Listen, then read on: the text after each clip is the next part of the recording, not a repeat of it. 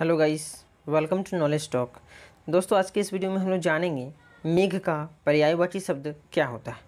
तो मेघ का पर्यायवाची शब्द होता है बादल, घन, घनश्याम, जलद, प्रमोद। बादल, घन, घनश्याम, जलद, प्रमोद। इसके अतिरिक्त और पर्यायवाची शब्द जानने के लिए आप वीडियो के डिस्क्रिप्शन में दी गई प्लेलिस्ट के लिंक पर क्लिक करें।